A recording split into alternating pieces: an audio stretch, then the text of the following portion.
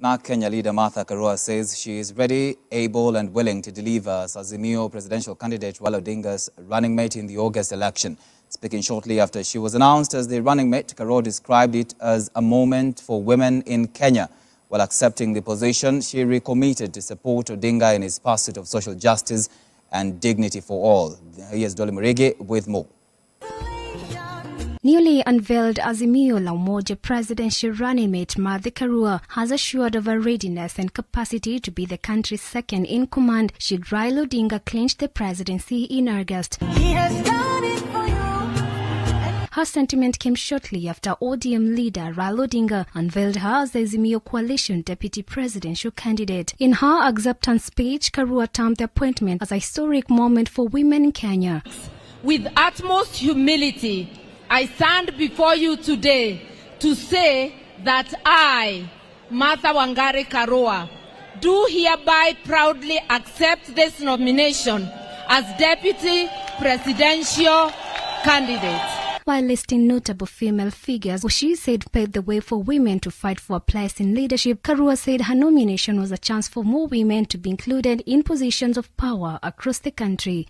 It is a journey for and with the people of Kenya for and with the women and men of Kenya, for the girls and the boys of this great republic. It is a story of those who have had the courage to try, have failed sometimes, and have continued even against odds. It is a journey of diligence and persistence Karua is a renowned Kenyan human rights defender and reform champion with a deep commitment to social justice, at the same time assure that the government shall be keen to fight for social justice. Today, I recommit myself to fully support His Excellency Honorable Raila Odinga in his internal pursuit of social justice and dignity for all. We have history to judge us. When we were fighting for democracy, our primary competitors in this election were enjoying the status quo. When we pushed for a constitution to cement equity and non-discrimination, as well as integrity in public leadership, they said no.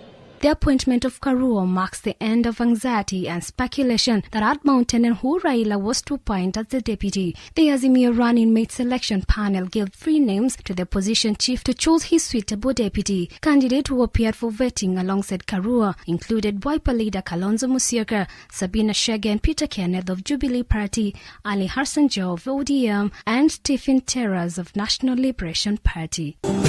Yes,